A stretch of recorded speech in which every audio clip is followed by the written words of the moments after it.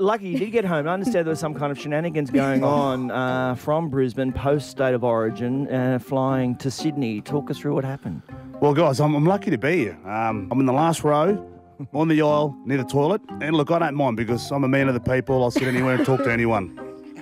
As we're getting into the flight, you know, you order your food, and, uh, you get your food and that, and then I, I ordered a wine. Just as we're like about to get served, um, down the back, obviously, I was last.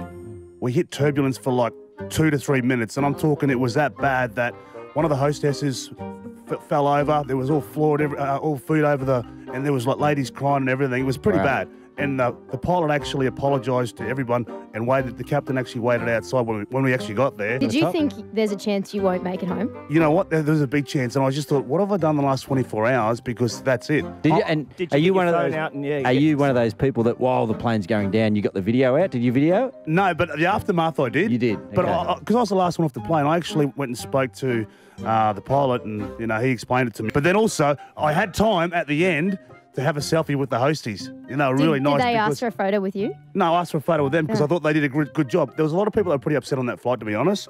And I wasn't even supposed to be on that flight. So if it went down, there would have been a story about like he shouldn't have been on that flight, but he was. I'm sure, I'm sure that's what the, the headlines I'm would so have been. confused. Not But about ep- the episode um, of all the Aircraft- innocent people. It just would have Yeah. o- only been about Wendell no, sailing no, on but look, but I want to say thanks to the pilot for getting me here. Did you drink your wine? I drank two wines after that. Okay, good. Is there anybody else? Would you have been the biggest name if it had gone down? Would you have been the main story? Do you think, Wendell? Oh, there would have been some big businessmen up there in business class, but as in as in profile, yeah, I would have been. anyway, let's move on. Let's talk about Origin and that. But it's just good to be pa- here. You get page one if you went down. Oh, look, I don't know, but you know, with with my history, I, I'd say I've been on back and front pages, but probably would have made the front page. Front Page. Hmm. yeah.